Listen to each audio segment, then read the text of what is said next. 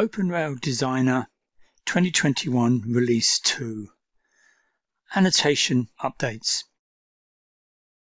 So I'm in the Rails Settings Features Annotation DGN library file.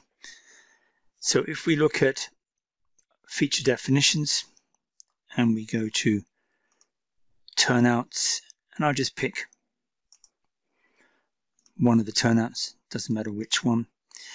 You can now see we have last long sleeper extension instead of a name sleeper stub. So we've removed the sleeper stub name and replaced with last long sleeper to hopefully make it easier to understand.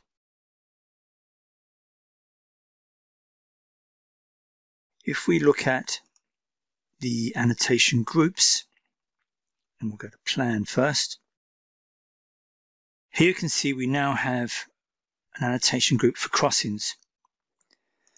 And if I click in here, you will see there's some diamonds, double and single slip examples. We've also added in within turnouts, annotation groups for displaying the last long sleeper. And likewise on profile, we have crossings and again, some examples for profile annotation, for crossings and for turnouts.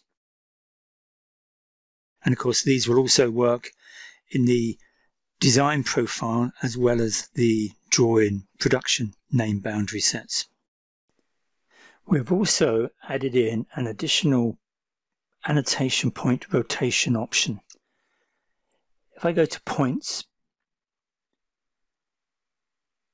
And I will just pick the first annotation group here and go to manage.